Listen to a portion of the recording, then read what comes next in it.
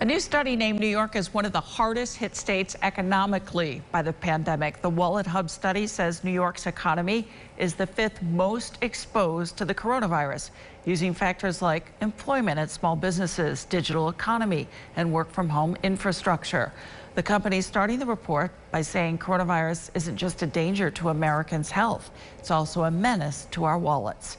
New York ranking behind Kentucky, Mississippi, Louisiana, and number one, Florida.